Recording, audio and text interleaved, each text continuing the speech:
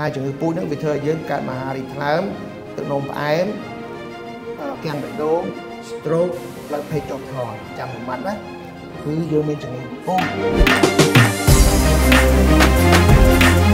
សូមស្វាគមន៍មកកាន់សិក្ខាសាលាសេពីយុជាវិញ្ញាវិណាក្រោយប្រតិបត្តិទូនីតិរបស់វិញ្ញាវិណាក្នុងការលូតលាស់របស់កុមារ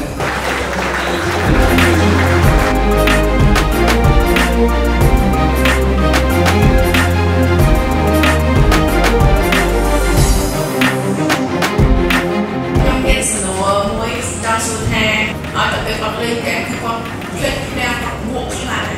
តើខ្ញុំធ្វើអញ្ចឹងត្រូវខុសអញ្ចឹងចង់សួរលោកចឹងទៅបញ្ហាខុសនោះគឺថាពេលដែលខ្ញុំនិយាយអីទៅ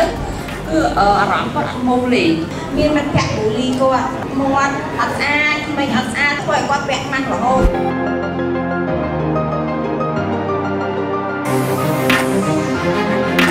បាទអូខេ អឺអាចមាន hyper 2 autism ឬក៏ hormone ដែលខ្ញុំនិយាយឬក៏មួយទៀតតកតងពីខ្វះជីវជាតិហើយមួយទៀតគឺយកគាត់ទៅធ្វើតែឈាមក៏នៅស្ទើរតែ60%នៅស្រុកខ្មែរមានជំងឺពូជហើយជំងឺពូជហ្នឹងវាធ្វើឲ្យយើងកើតមហារីកថ្លើមទឹកនោមផ្អែមគាំងបេះដូង stroke ផ្លូវភេទចុះថយចាំមួយម៉ាត់ណាគឺយើងមានជំងឺពូជអរគុណច្រើនជូនពរសុខភាពល្អទាំងអស់គ្នា